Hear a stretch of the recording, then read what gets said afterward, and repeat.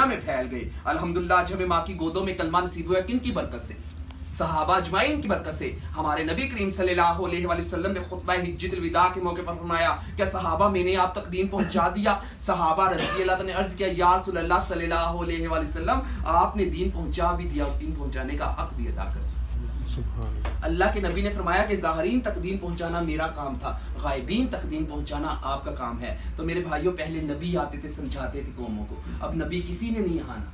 नबी किसी ने नहीं आना। क्या पिछली कौमों की खबरें हम तक नहीं पहुँची? कौमे नू कौमे आद, कौमे समूद, कौमे लूत, कौमे ईसा, कौमे मूसा, कौमे शुएब, कौमे सालिया। जिन्होंने पैगंबर इस्लाम की बातों को माना, अल्लाह ने सिर्फ़ उनको कामयाब किया। और जिन्होंने पैगंबर इस्लाम की बातों का इनकार किया, नहीं माने मुनकर हुए, अल्लाह ने तबाह बर्बाद की। अल्लाह ने तबाह बर्बाद किया। अब नबी किसी ने नहीं आना, अल्लाह ने इंसान को इंसान की रहनुमाई के लिए पैदा किया। हमारे ऊपर भी तो मेहनत हुई ना। अल्लाह रब्बुल इज़्ज़त ने अपने, हम, हमें अपने कीमती खजानों में से, हिदायत का खजाना नसीब फरमाया। अगर ये लोग हमारे पास ना पहुँचते तो आज हमारी जिंदगियों में ये ऐसा नूर ना होता ये हुलिये ना होते मेरे भाइयों।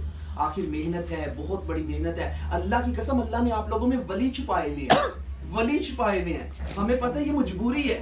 पहले हमारा शौक था, मजबूरियाँ बन चुकी हैं।